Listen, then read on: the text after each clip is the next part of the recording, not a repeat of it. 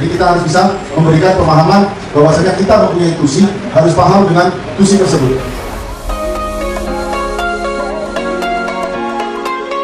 Di sini kami membawa perubahan ke arah yang lebih baik untuk Rutan Palangkaraya pada 2023 mempunyai resolusi kinerja yang baik.